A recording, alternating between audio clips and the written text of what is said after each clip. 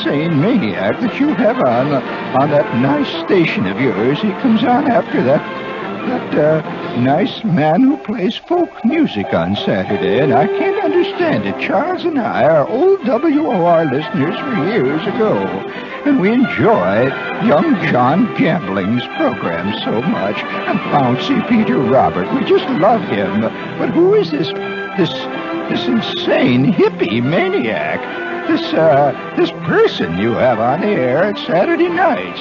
I just feel that you people don't even know what he's doing on the radio, or a nice station like yours just wouldn't have him on. Signed, an irate ex-listener and a John Gambling fan.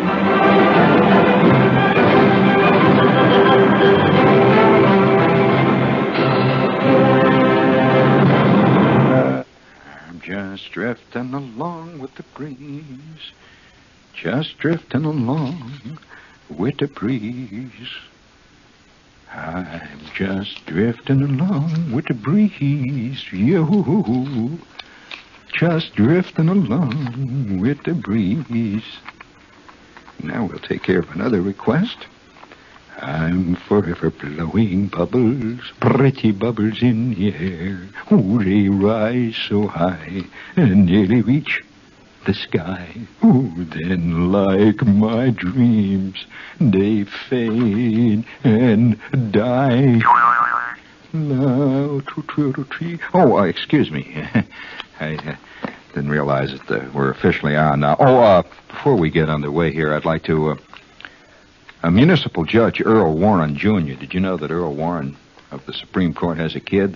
And he's also, yeah, he's also, he's one of the big fuzz. Municipal Judge Earl Warren Jr., son of retired U.S. Supreme Court Chief Justice Earl Warren, yesterday presided on a bar stool in the Pink Pussycat Tavern in Sacramento. And shapely Suzanne Marie Haynes, 22, danced in the nude, except for golden sandals and a silver ring. He moved the court to the beer bar in the case of Miss Haynes and another dancer, both charged with indecent exposure and lewd and obscene conduct. Leonard L. Glacy, the proprietor, is charged with soliciting the girls to perform these lewd acts. The jury of ten men and two women, plus about 50 paying patrons, watched the act and then Judge Warren said the jury, and we quote here, and we'd like to salute the American judicial system, which believes in getting all the evidence in. And we quote, uh, the jury got a better look than we would have had uh, if had just plain oral testimony uh, trying to recreate these things in the courtroom. And we thought that maybe an hour or so spent down here at the uh, Pink Pussycat would uh, give us a little more uh, evidence. We'll move back to the uh, courtroom right now. Would you please wait that? oh, man, that's the way to be a judge. Hooray for Earl Warren Jr., who takes it all the way.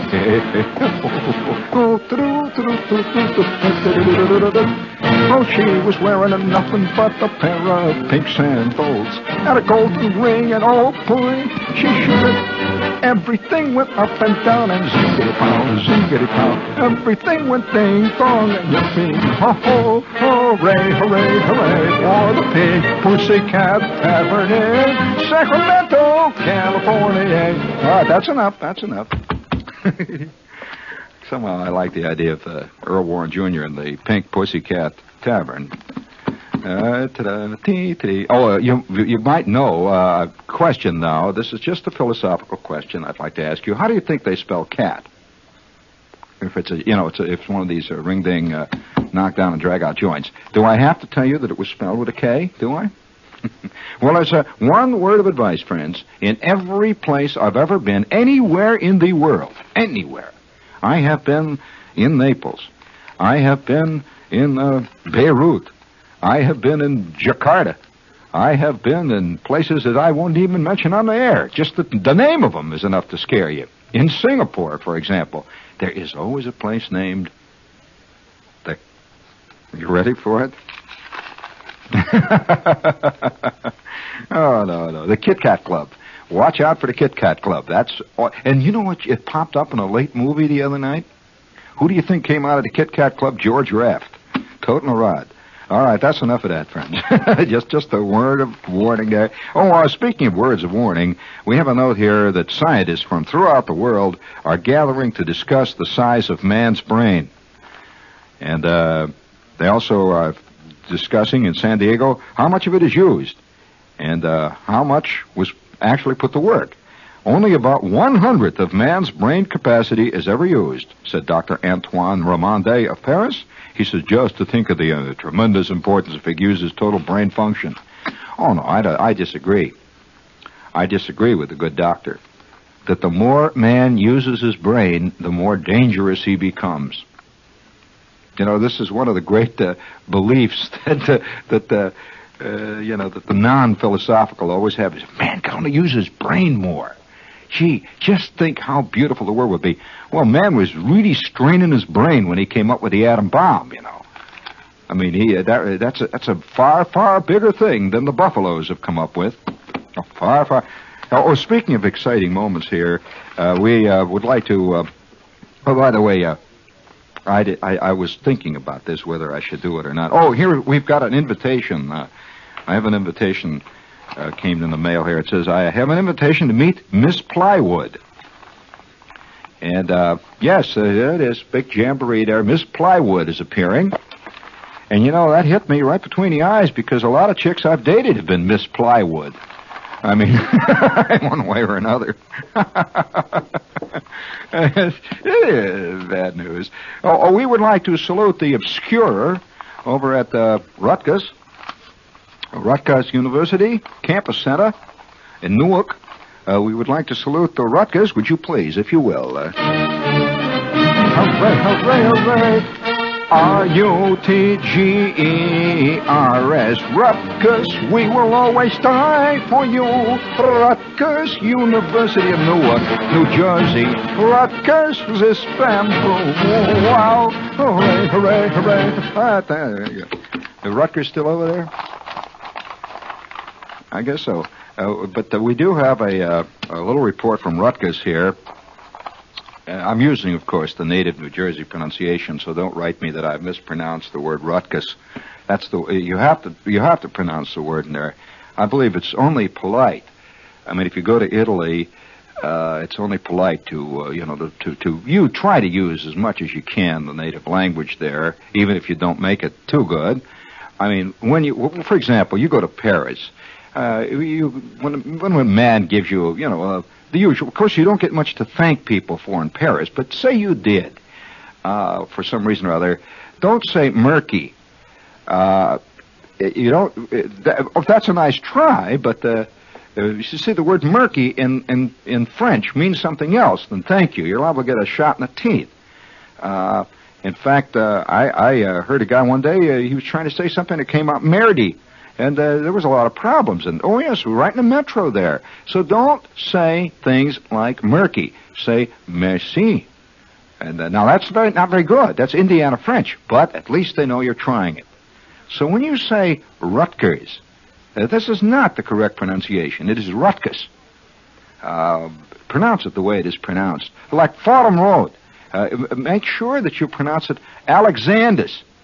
That's very important. Don't say Alexander's. It's Alexander. You must try to show the natives that you respect their native tongue and that uh, even though you are not able to fully realize it, uh, you must at least show them that you respect it. Uh, for example, uh, if you're out on Route 22, one does not go to Sears and Roebuck. One goes to Sears. You go to Sears or two guys. Uh, you do not go to two guys from Harrison. One goes to two guys on Route 22. And, uh, and, uh, for example, you may stop for a little refreshment now if you, if you're visiting the native, uh, this, this uh, country right next to us here and right next to New York, you know, the, the bordering country. Now, if you drop in, say, for a little refreshment, uh, you do not go up and say, I will have, please, a Dairy Queen. One says, give me a Dairy Queen. Now that's the correct pronunciation. Uh, or one goes to Carvel's. And uh, you get chocolate chimneys. Now these, now we're not, now I'm simply saying they have their own language. One must respect it. And uh, I say that uh, uh, this is all this is all part of tolerance. I'm attempting to, to bring, and also I I'm attempting to bring a little more sophistication to my friends, a little more uh, a cosmopolitan appreciation of, of the better things. Uh, for example, uh, I just recently did a show, F- Fairleigh Dickinson.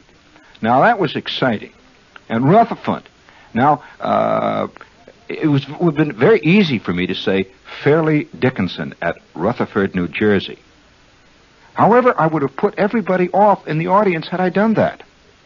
Because in this way, it's almost a rebuke. It says that I do not wish to learn the native language. How many times has the ugly American been shouted at all over the world? He arrives at, say, uh, Berlin. He spends two years in the army at Berlin, and all he does is spend uh, every day down at the PX drinking uh, what? Ballantines. Uh, does he go out and learn uh, uh, stuff like Mach Schnell? No. Does he learn to... By the way, I, I heard a terrible joke. You know, knock knock jokes are coming back. All right, now, would you please knock knock? You, you give me a knock knock. Put it on the uh, on the on the uh, intercom here. Just knock knock. Give her the intercom there. Uh, turn on the intercom. You know, like this little thing here that you can talk back to the studio. Just press the button there and then knock. All right, no, no, hit. That's it. Keith's doing it right. Okay, Keith. Okay. No, wait a minute. No, no. I got a knock knock. I got to wait, wait. I'll knock knock. Okay, all set now. All right, here we go. The Gestapo. Gestapo who? I will ask the questions.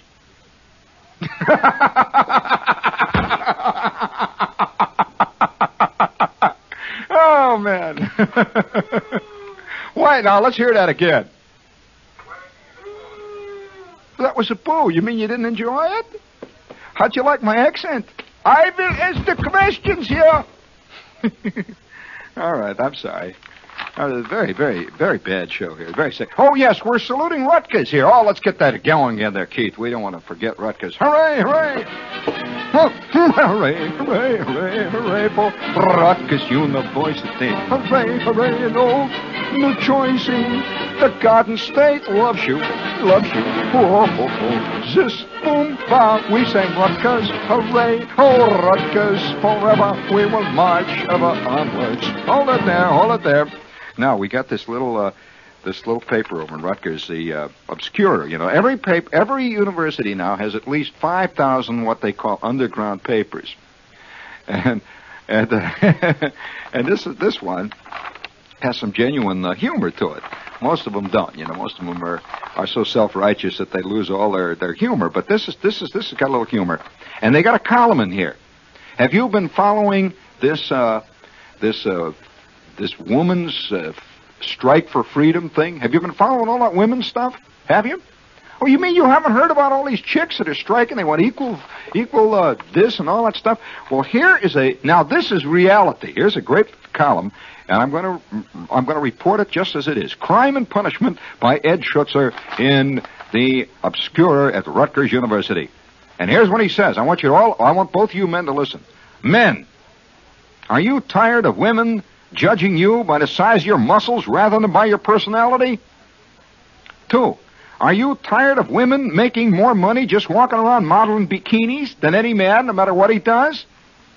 yeah. Uh, uh, listen to this. Three, is the girl next to you in class getting better marks because she's making it with the professor? And you got to turn in all the work? Yeah, that's true. Men, do you feel rejected because women have better bathrooms than men? They do. And there's the last one, the crusher. Get ready with the salute in there. Men, are you tired of women blaming you because they are pregnant? Come on there, let's go. Let's sing it out, gang. Sing it out.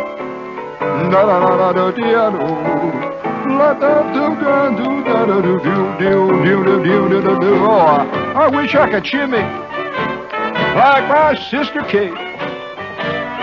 She shimmies it, shakes it like jelly on a plate. Ba ba boo ba boo.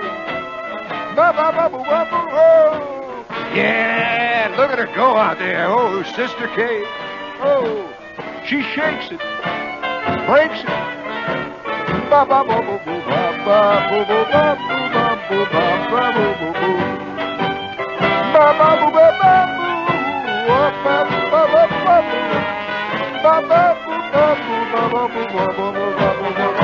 right, baby. Okay, all together now, gang. Sing it out. Oh, my sister Kate. She shakes it. Shakes it. Like that old jelly on a plate. Look at her go. All together now, gang. How come all the boys read K's Every boy on our neighbor, in our neighborhood block. Yeah. No chicken shimmy, they're all taking stock. Stand in. Oh. I may be late, but I'll get up to date. When I can shimmy like my sister Kate. Okay, let's go, gang. Oh, Shimmy shimmy. like my, Like my sister Kate. Ba Papa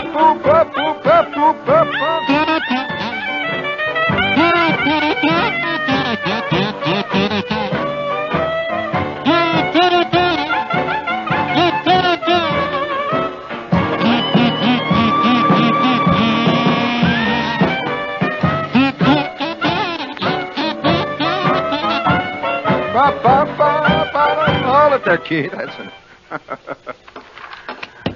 Ain't you- exactly Geoffrey Holder music, is it? oh, Jeff is so solemn. I wish I could shake it like my sister Kate. Oh, she shakes it like jelly on a plate. Hey, is it time to make the station break yet? No, not yet. No, for heaven's sakes. Uh, you know, uh, uh, speaking of uh, this uh, little thing here, it says, uh, "Men, are you tired of women blaming you because they?" I, I heard that. You know, I heard I heard a chick on the air the other night. One of these angry ladies, you know, with a mustache, always appearing on Barry Farber show called "Women's Strike" for something, you know.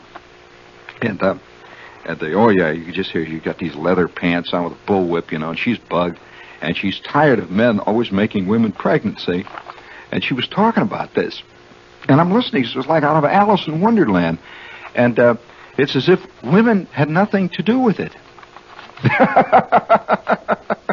you know, as if they're kind of just standing around, and men keep doing this bad stuff. Oh, I wish I could shimmy like my sister Kate. Maybe that's her problem. She can't. He he says, if these things are bothering you, men, and you feel that they must be corrected, join the Men's Liberation Front, MLF, has plans to cure these and many other ills that befit that that beset this sick society. Paid for by the leper president of MLF. It's too bad that the president of the MLF happens to be a leper on top of it. Well, that's the way it goes. the MLF, I think I'll join that crowd, you know, get myself a button. And, uh, you know, get, get, try to get some equal value for men. As a matter of fact, you know, uh, he, he's hit on something kind of real there. Because I'll never forget one night. You know, I, I wonder if women really would want equal treatment under the law and everything as to men. I'll tell you, I can just imagine about five million men I know suing for alimony. I'm getting it. I mean, if they're actually treated, uh, you know, uh, with the actual uh, uh, uh, equity under the law. In fact, uh, can you imagine the, what happens to almost every man I've ever known? Every man I've ever known has run into the law, one term or another. Right, Keith? All right. One night I'm riding over the Willis Avenue Bridge, see. Yeah, and I'm playing it cool, see, and I'm just going along there, and uh, everything's under control. I got the radio going. It's about 3 o'clock in the morning, see, and I go cooling along over the bridge, and I'm the only car, see. And so uh, I'm just going along there. And I don't know where this guy came from. It's like uh, all of a sudden he materialized. I don't think, uh, you know, I don't think it was a real, uh, a real fuzz car. I don't know. All of a sudden it's there, just like poof out of the air, and zap! I see the U light back of me. Whoo! Those big old red lights going. See, and I'm going. Well, I know there's nobody else. See, I pretend like I don't know it. See, I'm just driving along like as if it's somebody else. They must be after. See, and all of a sudden this guy goes, "Wow!" He pulls right up in front of me, and is, you know, ooh, nothing's worse than to be driving along, and. uh you hear that you hear that sound, you go, ooh, they just make one little bleep on that on the sirens. You know, shoot, I stop. And this great big guy gets out. And he had more things rattling all over him. You know, that's the, they got straps all over him. So he had these straps and these little things hanging out of him. They were rattling. See, I can hear him rattle as he comes back. And he's got a pair of these real big black glasses. He walks back. He looks in the car there, and there I am. See, now, what have I been doing? Well, I've been uh, I've been with some friends and uh, and uh, and, you know, it's very innocent, you know. I'm with some friends. We had a little Chianti and a little Dago Red and that. And I'm sitting around there. And so uh, I'm sitting in the car trying to look cute, see? And uh, he looks in at me and he says, Get out. That's all he said. Get out. I said, What'd I do? Get out. Well, there was only one thing to do under those circumstances. And uh, being a pragmatist, I always do what is the best thing to do under the circumstances. I mean, when in Rome, you start wearing togas, right? Okay. When that guy's looking in with them big black glasses and he says, Get out. Well, uh, by George, I reach over, see, and I start fumbling with the door handle, and wouldn't you know it, I had this door handle kept coming off this car. See, I had a Ford and had a door handle come off. So I reach over and I grab the door handle. See, and of course I'm a little frantic at this point because I, you know, I want to please. I'm a person who likes to please. See, so I reach over and I grab the door handle. The door handle comes off. Well, I can't get the door out, and he sticks his head. He says, "Get out." I said, "But uh, my door handle won't come." He says, "You get out of that car." And with that, I go over to the other side quickly, out the door, and now I am out on the street. And he walks around to the side where I am, and everything's clanking on him. So, all right, let me see it. I said, what? Don't give me no lip. Let me see it. I said, oh, oh. Bye, George. and then, oh, then it hit me. Oh, my God. I have not renewed my driver's license. I knew there was something. So let me see it. I reach into my wallet, see. And I got my driver's license, see, my old one. So I've, I'm sort of fumbling around. Just give me it. I'll find it. Takes the wallet, and there it is. He looks at it. He looks down at the driver's license, and he looks at me. Is this you? yeah. Don't give me that. This is a Goyle's car. J E A N. Oh, you're driving around. You got some chick's driver's license. Hey, Chuck! With that, the other guy comes out of the. Oh!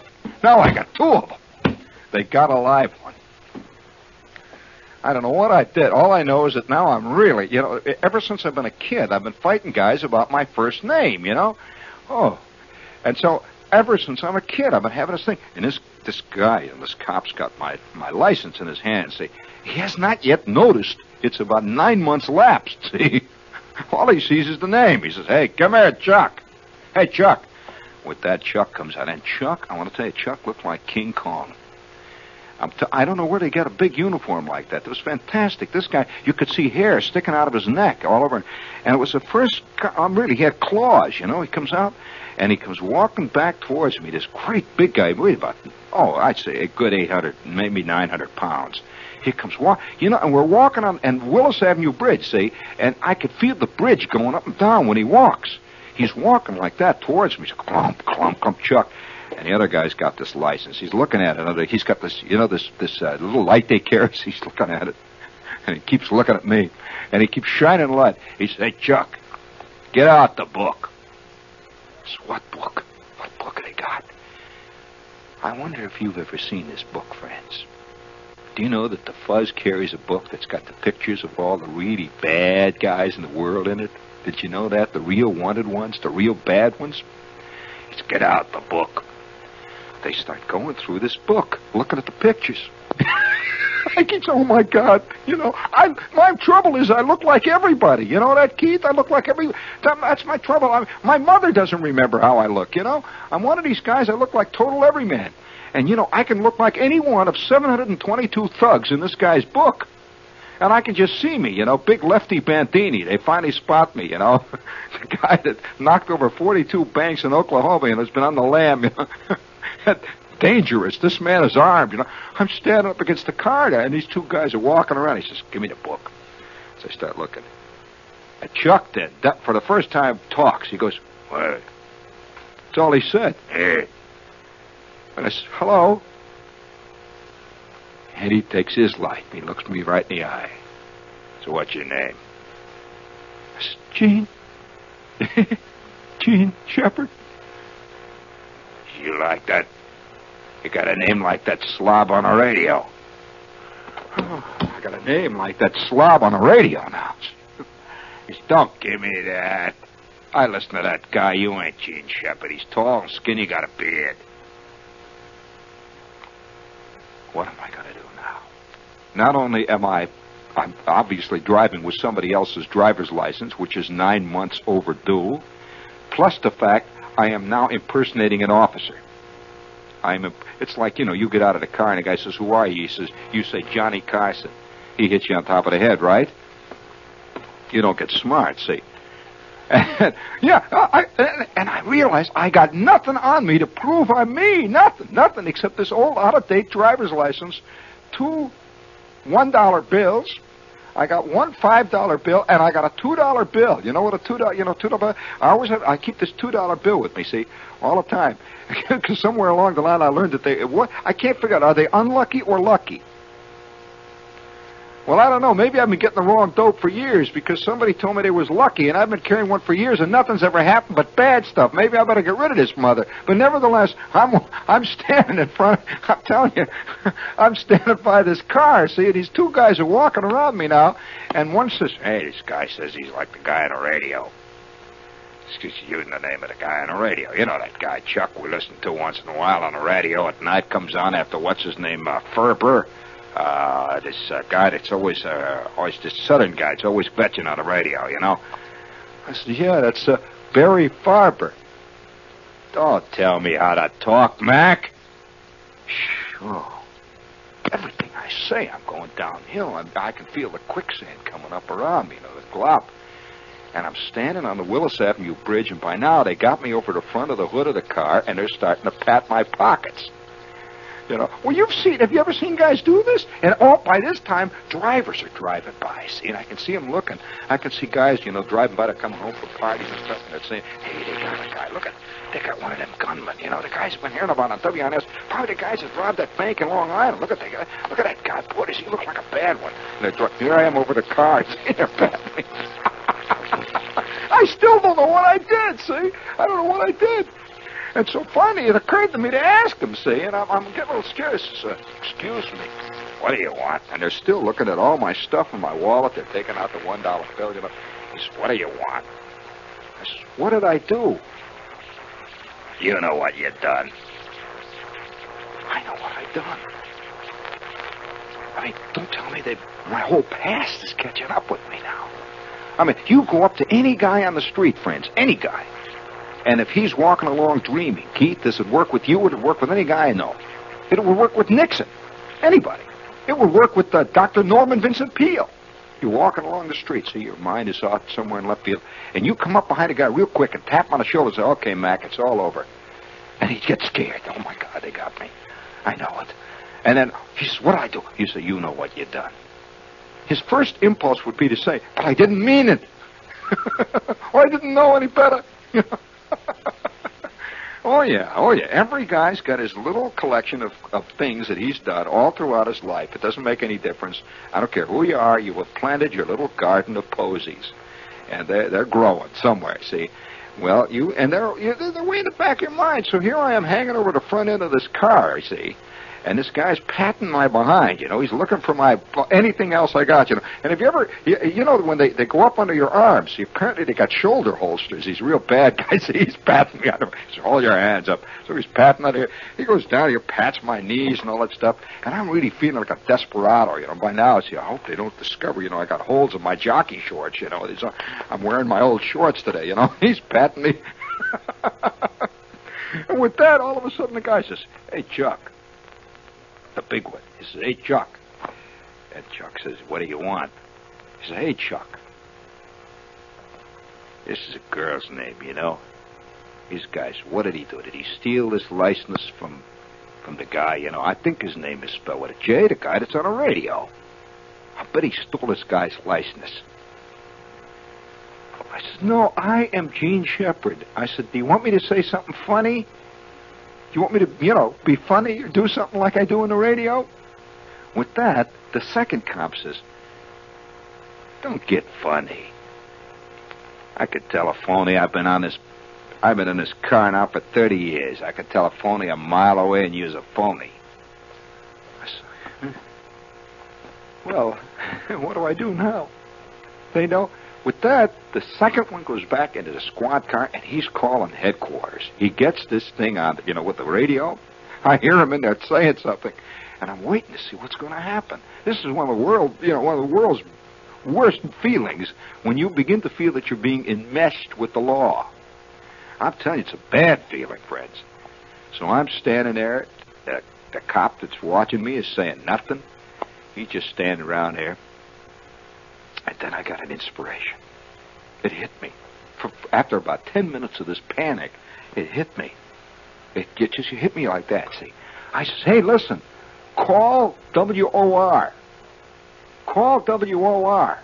Call them up, and they'll tell you. Hey, that ain't a bad idea. Up there. All right. He says, you get in your car, we'll follow you. Let's go down to the end of the street down there and get that phone booth, and we'll call WOR and see if you's really what you say you is. And so I get in my car. I'm scared. And they're driving right behind me. Have you ever been followed by a car that is following you right? He's right on my bumper with the U light going. That red light going. Oh boy, it keeps reflecting in the mirror. See, and I could see people driving by and looking. And now, guys, I could see them looking out at apartment houses all around there looking. See, they want to see, you know. Oh boy, they really got some bad. Any minute there's going to be a shootout. See, so when I get down to the end there, the street where there's this this uh, this uh, phone booth, I get out, and they stop. I got a dime. See, I'm looking at my dime. He said, "I'll dial a number, Mac. Give me the dime." They got to see, see. Says, what's the number? Have your, have your mind, little cells in your mind ever completely blanked out? I know the number of this damn station like I know my own name. I could not think of the number. It was gone. I said, the number, number, uh, it's, uh, uh, uh, uh, and boy, I could see the look of suspicion come over this guy's face like a tidal wave. You know, he's fingering, he's fingering that billy he's got. You know, any minute now I'm going to get a couple upside the head. You know, he's waiting. See, he says, "I'll find a number." He says, "Hang in there." I said, "You watch him, Chuck." With that, he dials information. He says, "I want WOR number." Keeps looking out at me. And I'm trying to think number, number. Oh God, I gotta think of the number. I gotta think of the number. I gotta think of that number. I couldn't think of that number for for hell. I just couldn't think of anything.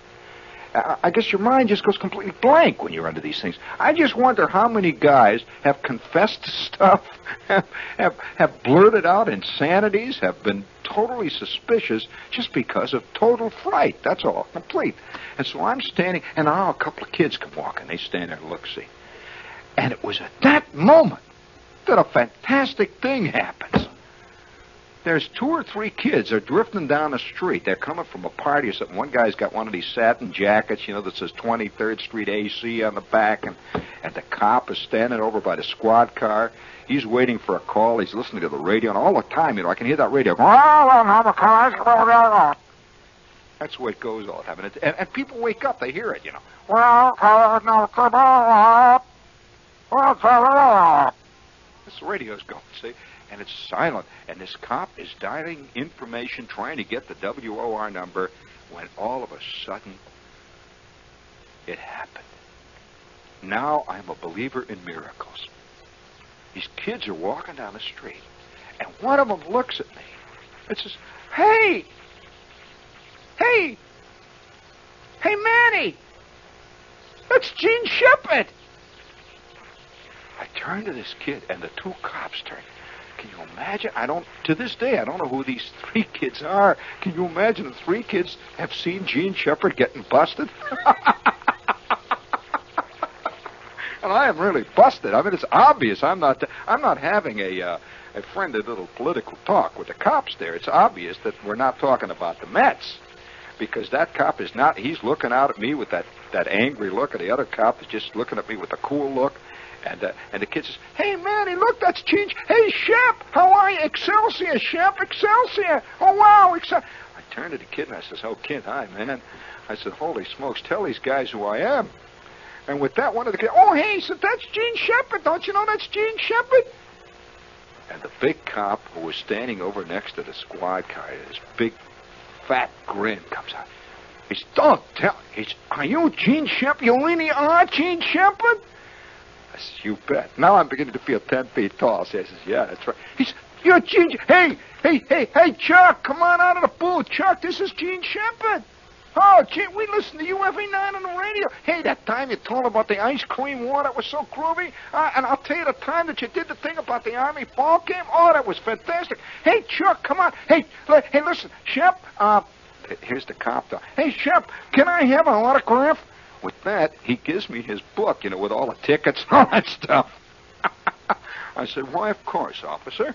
Uh, what is your name? Oh, uh, they, all the guys call me, uh, all the guys call me Big Freddy. Why, uh, just write to Big Freddy Excelsior on it. I says, to Big Freddy Excelsior, Jean Shepherd. Oh, boy, wait till my kid sees this. He says, I show up. It's, it's groovy. The next time you get on the radio, listen, would you say hello to the guys in car number 4226SJ7 over at the 928th precinct? And by the way, say hello to Chuck and Freddie. We'll hear you on the radio. So, Chuck and Freddie, if you're listening tonight, old Shep is digging you, all right? All right.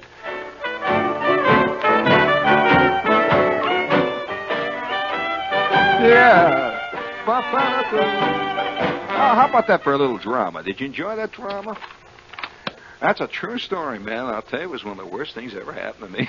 oh, wow. Oh, man, that was that was Nervousville. Oh, listen, I had. Did I ever tell you about the time I got busted by the MPs? Oh, did I tell you about that night? Oh, I I- listen. Any any guy who's ever been a yard bird in the army, uh, anybody who's ever been in the armed forces, and I'm going to tell you an army story right now, if you don't mind.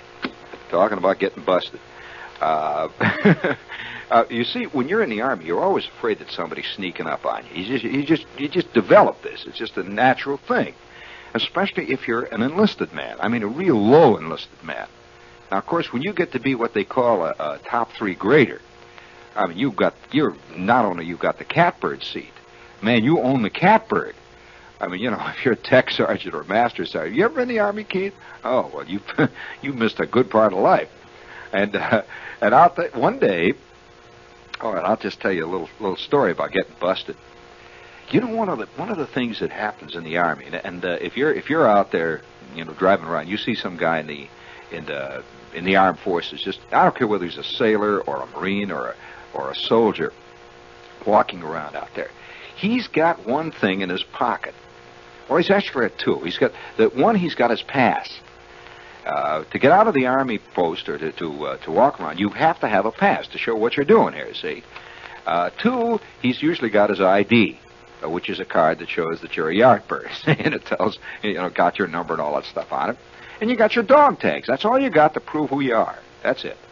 Now, why do you need these? Well, now you've seen these guys walking around once in a while with the big white hats. Well, you seen those guys? Now, sometimes they wear this big armband. Yeah, that armband says MP. Now, if you're in the Navy, it says SP. Okay? That's shore police or military police is what it stands for. No matter how you slice it, though, friends, it's fuzz. That's what it is. Now, these are not your buddies. Not, not if you're a PFC and you're about four hours overdue on a pass. You ain't. So, uh, one night, on his terrible moments, I'll never forget this night, and, and anybody who's listening in the Army now will know this feeling, this sinking sensation, terrible sensation. I am in this southern town, which is bad enough right there. That's a that's got a lot of things going against it right from the start because uh, there's a there's a certain I mean I don't know it's hard to describe it. Uh, a lot of things I dig about the South, a lot of other things that you know are very questionable. But one night, uh, it's a it's about 10:30 at night, and it's a it's a it's a late it's a it's a hot steamy uh, shifting walking around uh, one of those one of those itchy nights in the middle of summer in deep southern Florida. Now, I have seen this place since. I've driven through this town. As a matter of fact, I'll tell you the town. It was the town of Stuart, Florida. If you've ever heard of Stuart, uh, Stuart, Florida, and and I've driven through there, and I've even looked at this place since.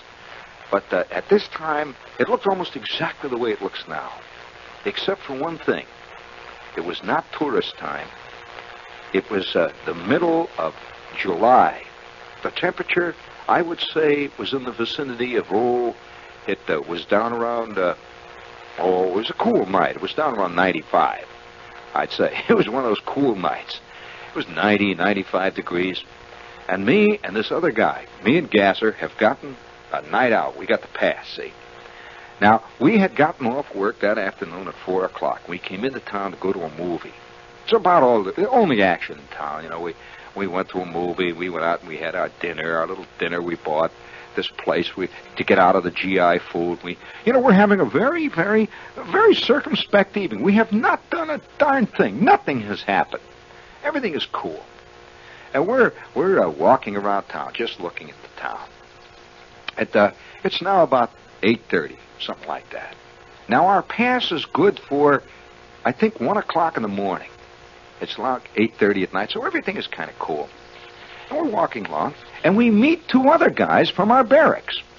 One of these guys I will never forget as long as I live. His name is Nash.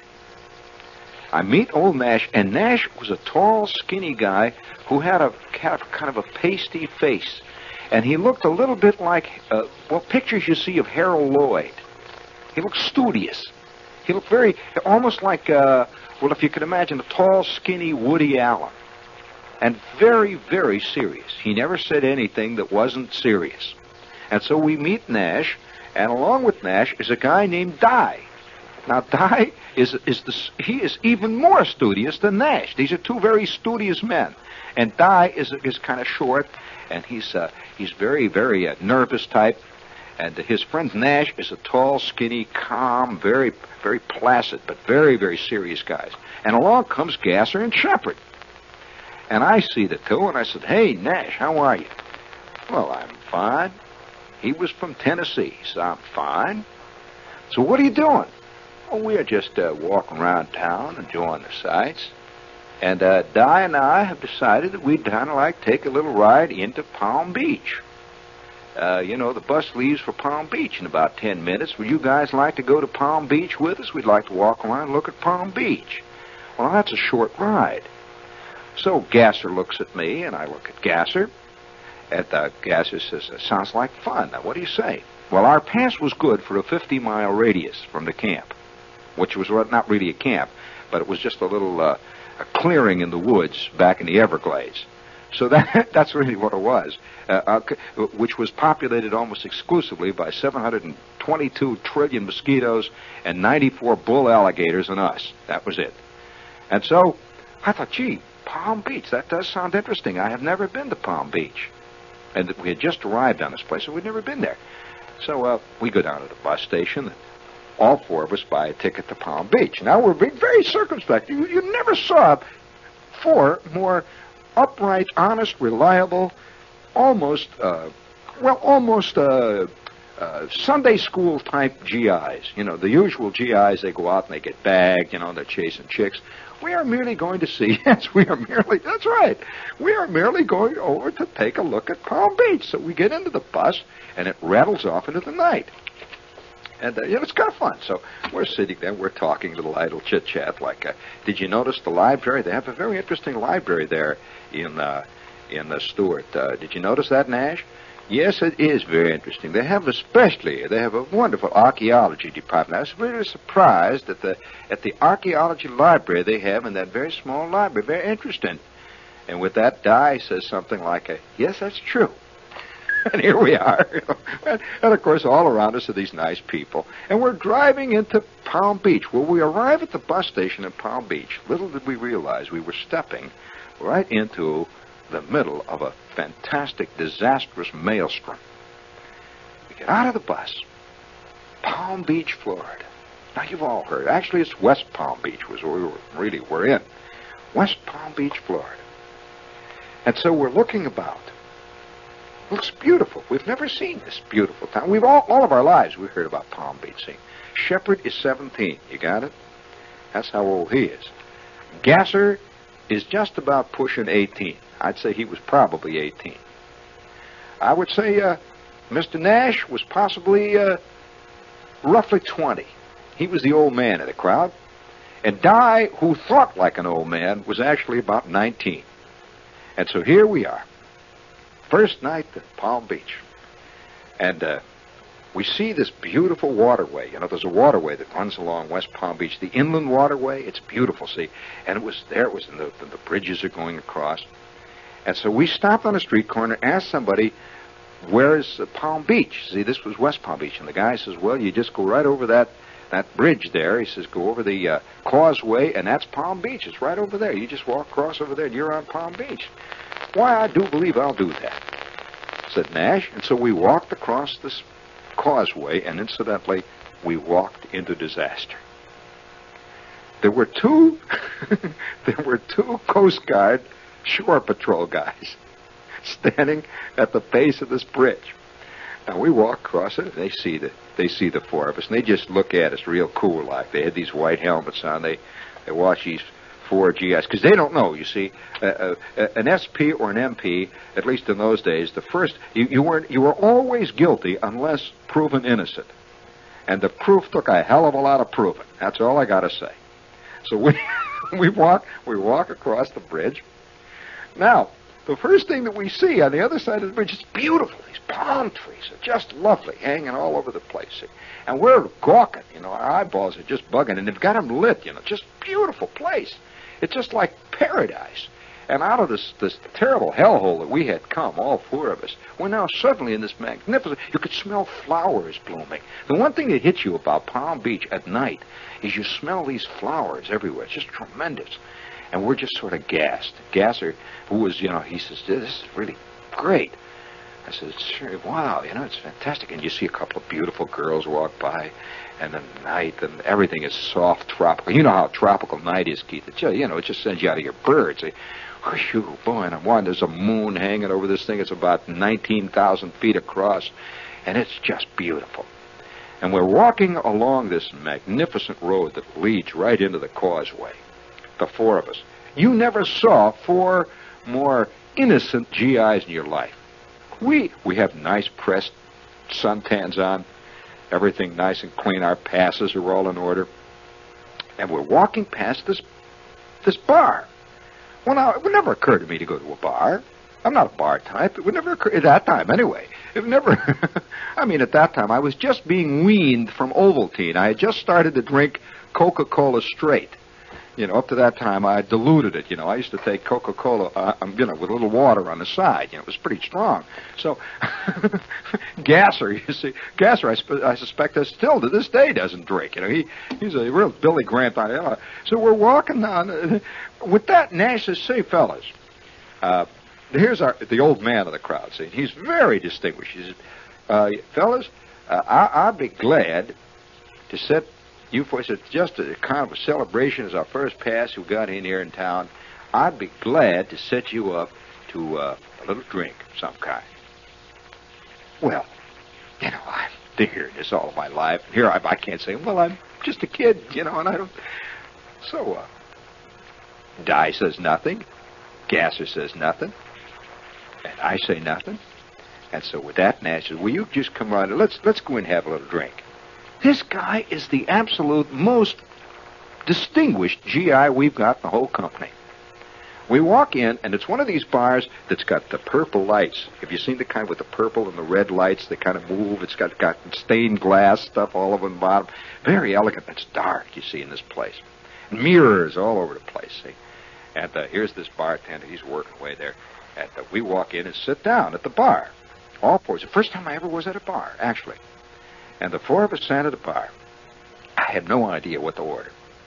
And so uh, Nash uh, looks at the bartender. The bartender looks at Nash and says, What do you have, man? He spits. With that, Nash says, uh, Well, I believe I'll have a. I have a, a double Southern Comfort. Well, I never heard Southern Comfort. What the hell's this, see? Well, so the bartender looks up and down the line. With that, Di says, I'll have the same. Gasser says, yeah, uh, me too. And I say, well, yeah. And I have my first Southern Comfort. Well, well, Nash takes his Southern Comfort. I never saw anything like it. Nash takes his Southern Comfort and he just goes, just down like that. Just goes, just, it just goes. So I pick mine up and I sip it. Oh, it tastes so good. This tastes like it. I'll tell you what it kind of tastes like. It tastes like a turned on Karo syrup. If you can imagine Karo syrup that suddenly got awful hip, it tastes so good. You know, I just tasted, whoo, I never thought it tasted like, you know, it was so good. Nash then has another one. He goes, and it was just then that it happened. Nash had three Southern Comforts. I'm still drinking my first one, and so is Gasser and Di down. We're sipping. It's very strong. Nash has had three of it, and he changes. All of a sudden, he changes, and two sailors have sit down at the end of the bar with that. Nash gets up and he says, "Who you looking at, smart guy?" He gets up, he walks down, he grabs one of these sailors by the back of the neck, and he thruns him down to the floor. He says, Who you looking at, sailor boy? I'm going to kick your guts right out through your ears. And he gives him a kick. Well, all of a sudden, there's a fight going on in the bar.